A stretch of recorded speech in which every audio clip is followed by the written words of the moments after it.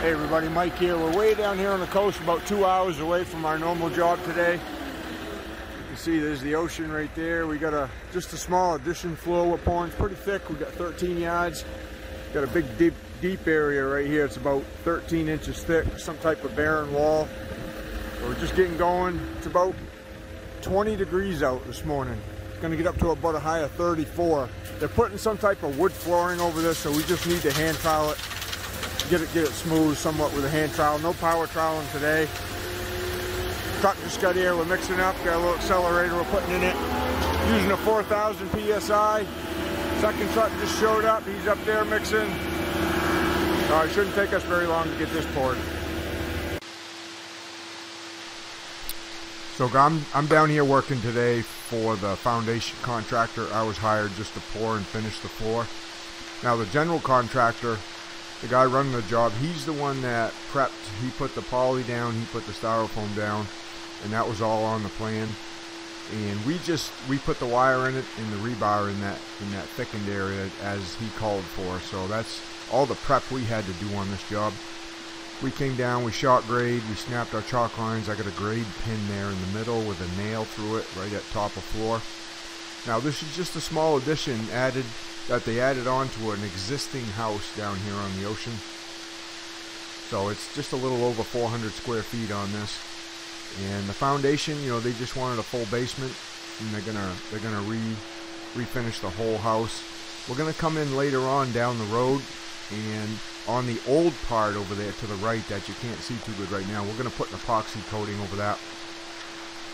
That floor is in pretty rough shape, so we're gonna grind it down and and put a nice finish epoxy floor on that. Now, so we're pouring the concrete here. Like I said, this figures about five yards, five six yards at four inches, and for whatever reason, it was a it was a five to six inch thick floor, and that big thickened area in the middle.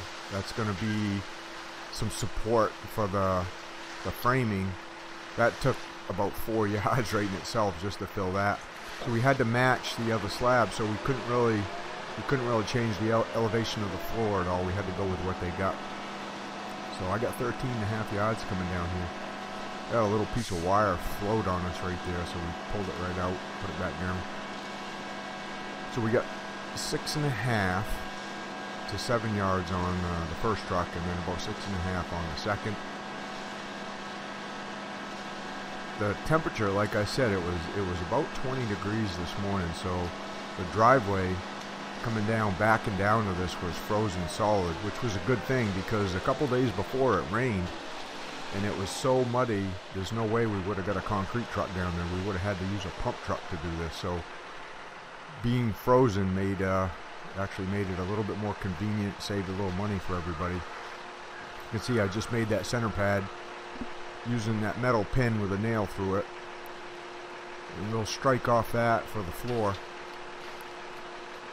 Now the concrete was really hot. It was uh, 4,000 4, psi concrete. It had hot water in it at about 150 degrees, and it had about a two-hour drive to the job site.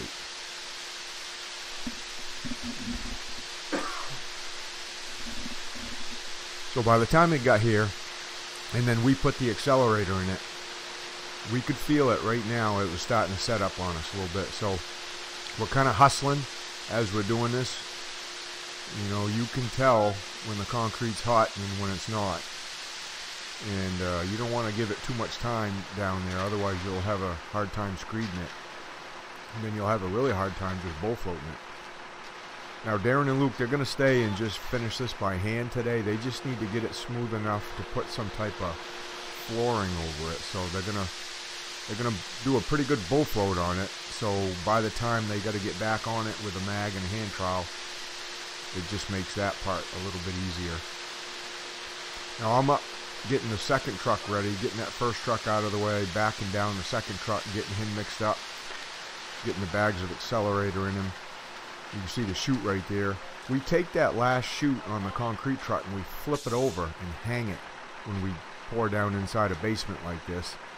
It just helps make pouring it a little easier. You can you can kind of direct the concrete where you want it. It doesn't have to fall quite so far.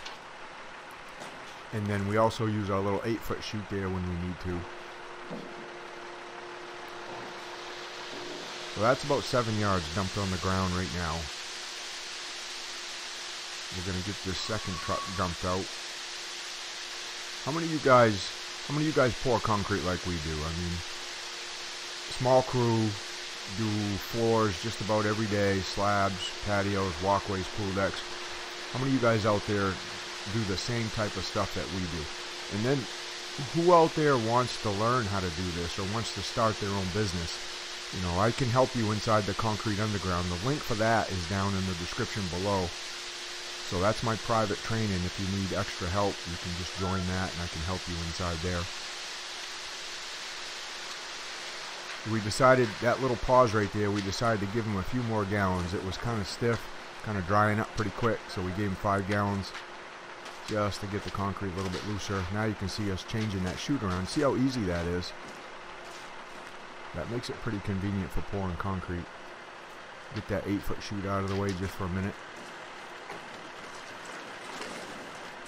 Luke's over there getting all the edges magged and ready to screeded, so, because we know that we're only going to have a few minutes to get this down, being as hot as it is.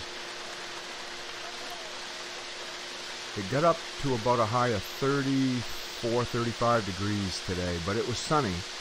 So even at those temperatures, with the concrete being in the sun, and then the bags of accelerator in it, it still it still cures up pretty good, being outside like this. They ended up finishing up troweling about 2 to 2.30 in the afternoon. So here it is about 8.30 right now in the morning. If that gives you any indication of how good this stuff dried in those cold temperatures. Being on styrofoam helps too. It, it helps hold the heat into the concrete a little bit longer than if you pour right on the cold ground. Most of the jobs we do uh, this time of year have styrofoam under them here in Maine because we have so many freeze and thaw cycles between November and March. We have some pretty cold temperatures, so the most of the floors and slabs we do have some styrofoam under it. I don't know why they decided not to put the styrofoam under that thickened area in the middle. Probably had something to do with the weight, the amount of weight that was going on it. But, you know, a lot of times I don't get into the design of the floors. I just get into pouring and finishing them. I'm going to change the angle of the camera here right in a second. So let's get this other part screeded first. We're trying to decide, we're right there at the end right now. We're trying to decide, because that's the only access we have with the concrete truck. You know, how much concrete do we need in here and not have too much? But we also don't want to run short either. If we get way too much in, then we got to shovel it out. If we don't have enough, then we'll have to either bucket it around from the outside or, you know, dump we dump some on the ground out there and shovel it around. So we're trying to get just as much as we need in here, but not have too, too much. So we're going to get rid of the chute. We'll pass that to the driver, and he's going to wash that up for us. Our drivers usually wash up our tools when we pass them out. Do you guys have the same type of drivers? Do they wash their stuff up as they're waiting for you? Let me know down in the comments. You can see the aggregate that shows after you get done screeding. That would just be really difficult to finish. So we're using a bull float and the the head on that bull float, the thing that makes it tilt back and forth, we got from Superior Magvibe. If you want to check out magvibe.com, they got some really good um, handles and bull floats, and they also have a an apparatus that helps the bull float vibrate a little bit if you need that as you bull float it smooth. Yeah, you can see the little different different angle now with the sun shining the guys were in the background. They were doing the framing on this, so they really needed this done before they could frame it. Otherwise, we would have had a lot more difficult time pouring this. Now, Darren's just finishing up with a seven-foot screed. He's got to get that corner bull floated before he can turn and come down the other way. And then Luke's magging out a little piece there that they had to break out for some plumbing. So he's just going to flush that back in even with the other floor.